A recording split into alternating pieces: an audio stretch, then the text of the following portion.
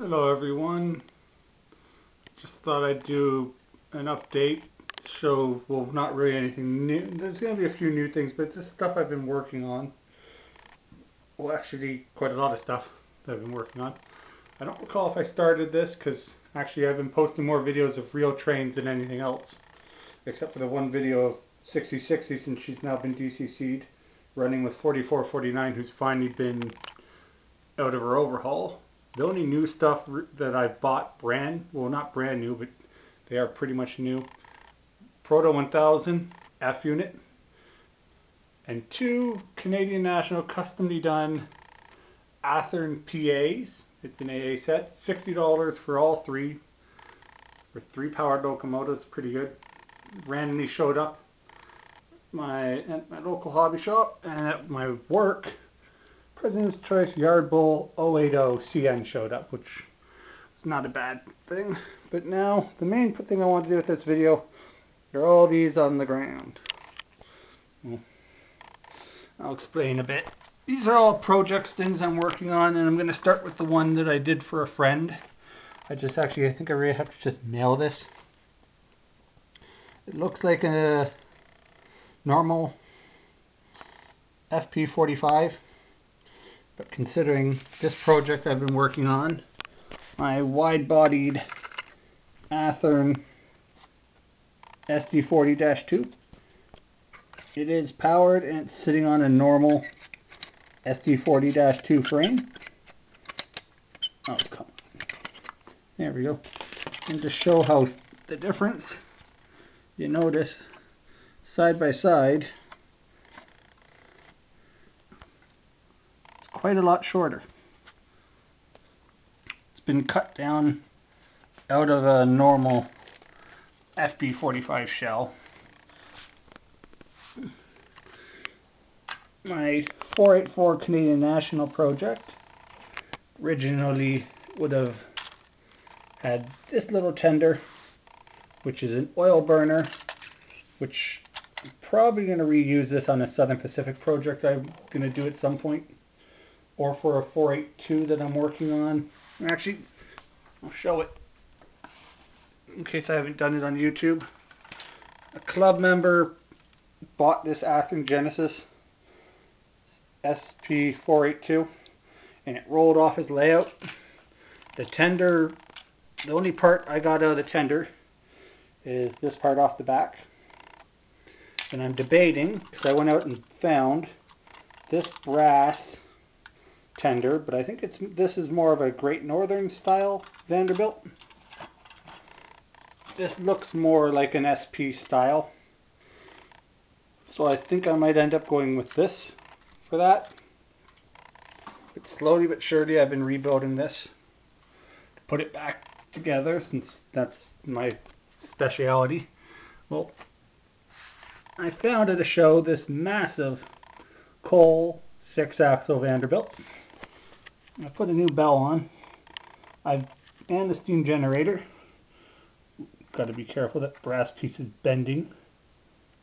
I don't want it to break off. I've got a steam whistle in another box I'm going to install at some point. Now then, another odd thing that showed up in my local hobby shop. This little, mm, I'd say it's a mix between either an electric or a streetcar, but I think it was supposed to be a streetcar. Because this is what it came with, was this trolley pantograph. But it also came with two of these, and I'm going to swap it out to have two of those on the roof and turn it into uh, my version of a Pennsy box cab. Now then, on to my projects. I'll do these two at the same time because unit front needs some work still. PA, back, and frame. Powered 6-axle Athearn PA frame.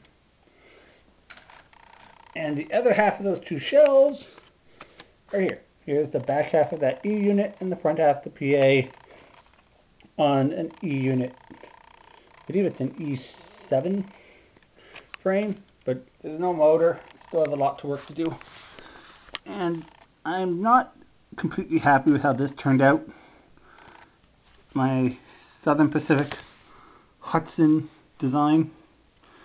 It's not sitting right. There's terrible cut lines there. I'm trying to put the shell back there, but for my first attempt of piecing together a, a steam body shell, I'd say it came pretty good. And then here's my version of that. It's on an SD9 Athearn frame. And to even show the difference here, putting them nose to nose,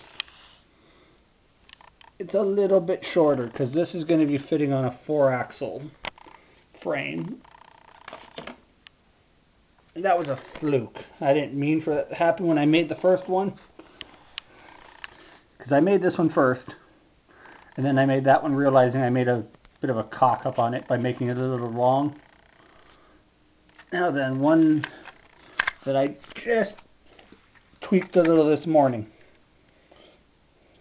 SW 1200 frame, cab, and F unit back. I put some body filler, fill those, sanded down that horn or that uh, vent there.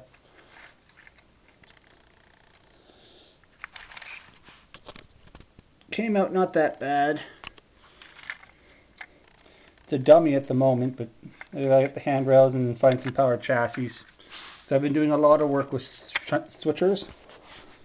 SW1000 and formerly a CSX, I believe it was a Dash 9. And it's sitting on an Athearn frame. Also another dummy. These two were trial and errors. I really don't know why I put that on there. I really can't tell you. But I did.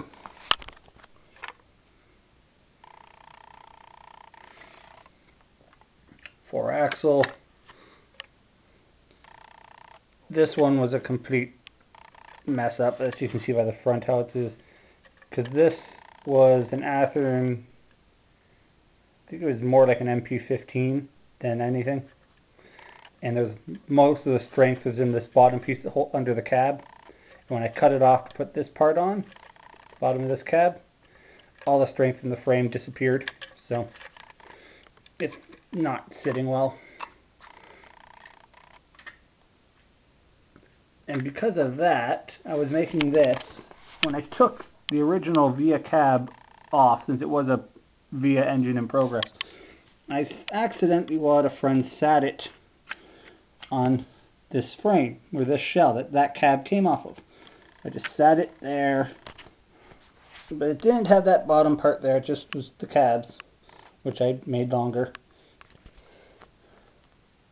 just something for fun. And apparently there's an engine, I think in Australia or somewhere, that sort of is like this. It has this type of front and that type of back. I'm not sure if it's a Dash 9 or an AC 4400.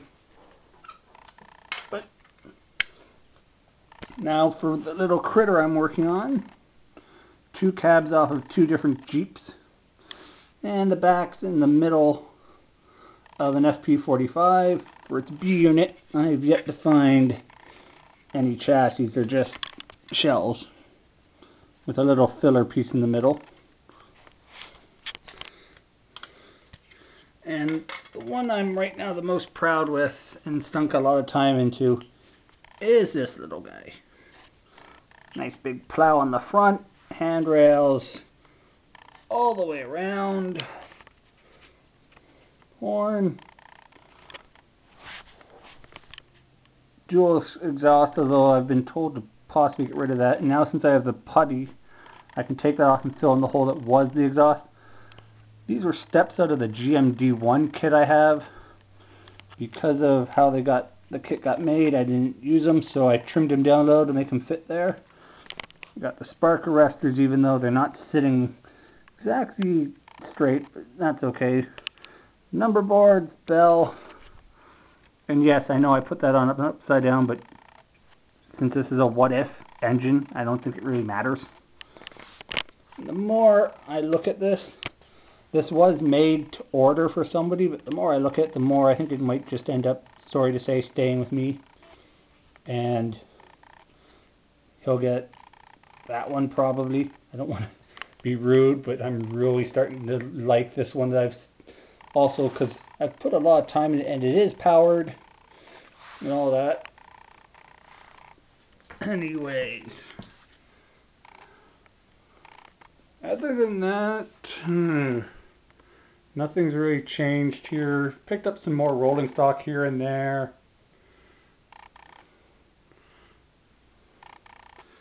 And uh, there isn't right well right now I'm going to try to hold off on buying things because there is a locomotive I've been meaning to get for a while and now it's gone up in value or looks like it seems like it so I'm going to try to get it before they disappear. And I'm not going to mention anything about it because it only comes in a kit form and it looks like it might be a fun kit. I'll take a photo of it in bag form before I even try to build it see if anybody can guess what I'm building. And then I'll have a special photo of it when it's built with, another engine that it's a bigger version of it that I do have. Anyways, hope you enjoyed the video. Ask questions about any of these if there's scratching your head about it because frankly with some of them even I'm scratching my head and I built them. That frankly pretty much just I had this part, I had that part, I had a frame, piece them together, put them on a frame, way I went. Anyways, Thank you and goodbye.